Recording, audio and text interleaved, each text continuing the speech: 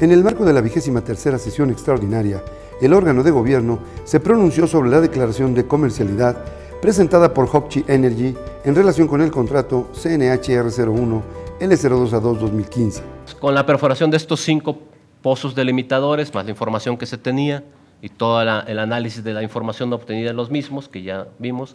pues se construyeron los modelos estáticos, modelo conceptual y dinámico, lo que permitió definir un volumen original de hidrocarburos y clasificarlo como recursos contingentes. Lo que estamos proponiendo para la etapa de la comercialidad es eh, utilizar las premisas que, que presenta el operador y que sean consistentes con lo que ellos hacen en su evaluación de reservas, siempre y cuando se encuentren en un rango razonable de lo que se espera obtener del campo. El operador presenta cinco escenarios respecto del cual eligen uno y en relación con ese escenario se hace ya una proyección donde se dice se podrán obtener, si se, si se sigue ese, ese, camino, una producción de aceite de 147 millones, de gas de 45 millones, se establece un precio